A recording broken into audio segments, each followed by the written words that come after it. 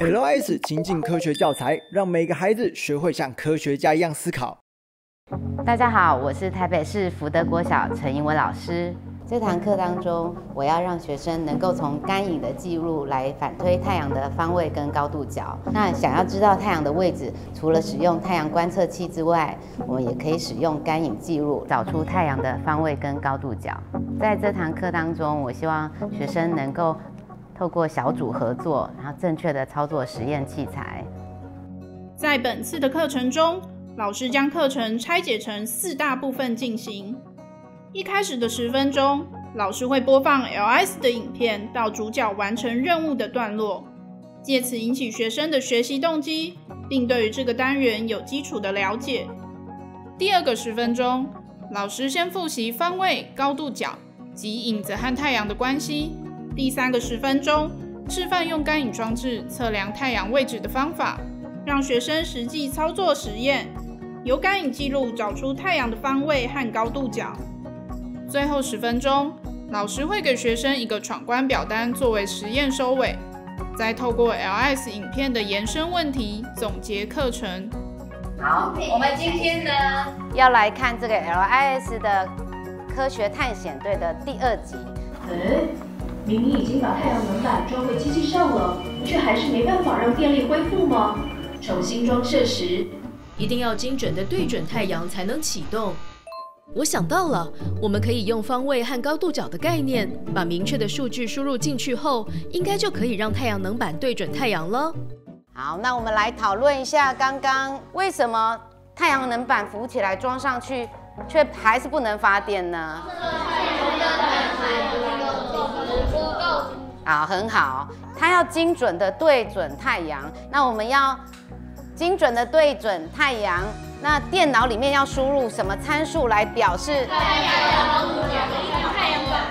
好，只要这两个参数。老师在确认学生抓到影片重点后，接着复习方位和高度角，帮助学生更加熟悉这两个概念。学生在四年级的时候，月亮单元其实已经学过了，要观测月亮要有方位跟高度角，但是那个高度角呢，过了。半年一年以后，他们好像印象不深刻。他们甚至会说高度角有超过九十一百的，平常生活中也比也除了天体没有用到高度角，一般就数学课测量夹角或平面上的角度。那高度角是立体的，所以我在这堂课开始的时候有在帮他们加强复习一下，想一想你四年级学月亮的单元的时候是怎么样测量高度角。月亮的单元，我们想要知道月亮在哪里嘛？要用什么材料？好，指南针用指南针辨认方位，对不对？有角度的对，有一个很像量角器的，这就月亮观测器。好，可是月亮观测器可以测高度角，但是可不可以用来看太阳？不行，对不对？眼睛会花掉啊！太阳的光线太强了，不适合直接用眼睛观察。有太阳就有影子，我们就可以用影子来知道太阳的方向。他生活中最常观察到自己的影子是有脚连着，影子是连着脚的，这样是比较好想象那一条连指向太阳的那条连线。所以我用阿才的影子的这个图片来补充说明如何测量太阳的高度角。好，现在这个角色是阿才嘛，对不对？他的影子在这里，那太阳在一二三，你觉得哪个位置？好，在三的位置。好，为什么太阳会在三的位置呢？这样相反的地方。哦，相反的方向。如果影子在西北，太阳在哪里？东南。东南，对，两个字都要颠倒。好，所以你从影子就可以知道太阳的方位。知道方位以后，要知道太阳的高度角。那太阳的高度角有没有要怎么测量？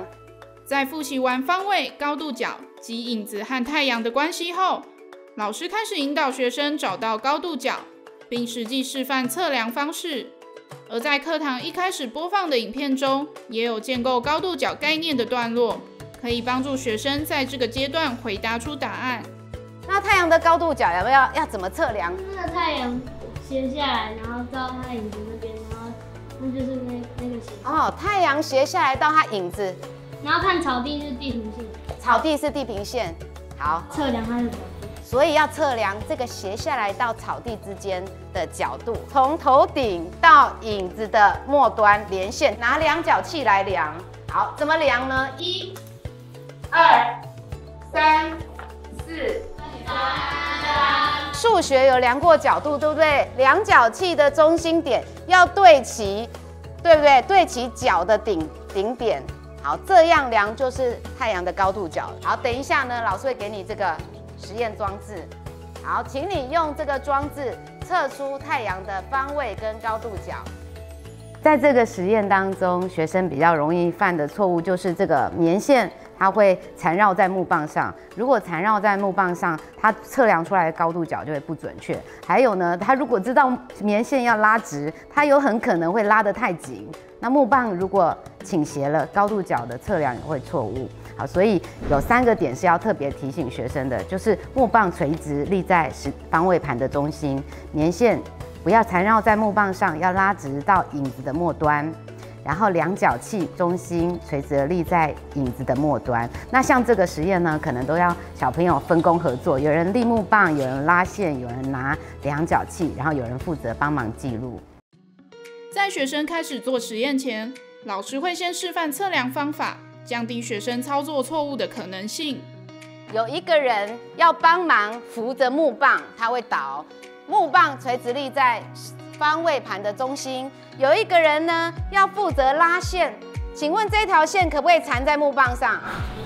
不行，缠了就会变高高度角变小嘛，所以你要把这条线完全打开，最好连一点点碰到木棒都没有。好，打开，然后呢，另外一端去拉到我们要测八点，就是八点这个打叉叉的位置，两角还要有一个同学拿量角器来测。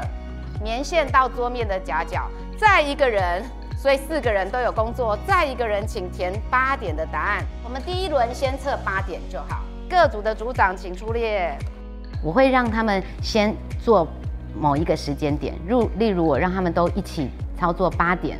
然后把记录纸收回来，然后观察哦，原来学生都会直接看影子的方位去写记录太阳的方位。例如影子在西北，他们就会写太阳在西北。但是有了一次错误呢，他们就会记得很深。等一下接下来的时间点，要太阳的方位是在影子的反方向。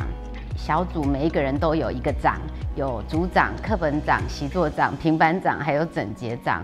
然后呢，因为分了长，他们就都会尽责的做自己该做的事。然后我们的空间也不大，所以呢，我就会把后面是课本习作，然后旁边是平板，然后前面会有实验器材。那这样在上课进行当中也比较不会打结，也比较顺利。老师除了在实验前会示范操作外，还会在实验过程到各组巡视纠错，不要拉得太紧，小木棒歪掉了，答案会不准。垂直，量角器垂直。好好的，请交来给我。还实验器材，安静坐下。八点的时候，高度角应该测量出三十。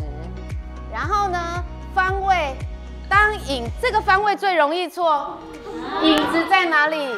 西北是影子的方位，题目问的是太阳的方位，反方向在哪里？东南，所以东南三十哦，哈，来看一下各组的答案，全部都西北，西北，西北，西西北。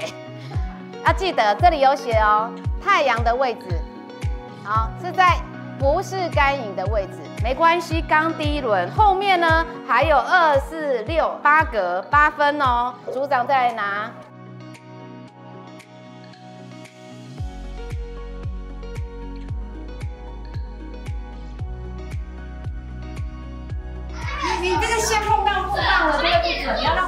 转过去，对不对？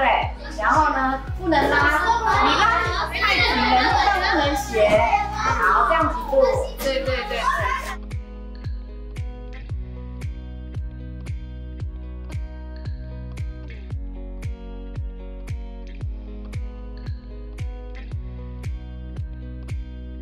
好，有一张已经在我这了，一四三，好，一。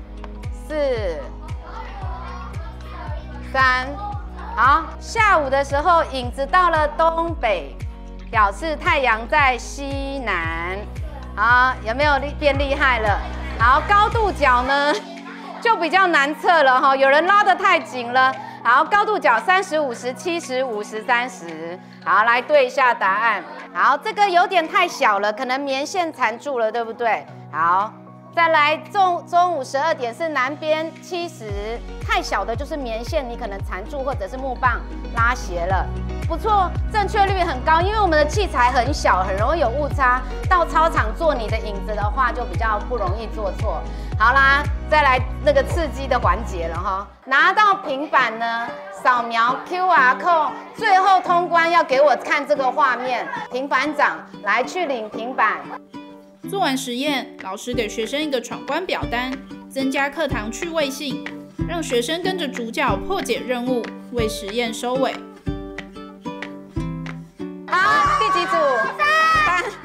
为了确定学生能够活用课堂知识到不同情境，最后老师透过 LS 影片的延伸问题进行课程总结。我偏偏在设计战争模拟小游戏。坦克呢，如果想要击落空中的战机，高度角啊是个很重要的元素。那你知道在这张图里要怎么找出战机相对于坦克的高度角吗？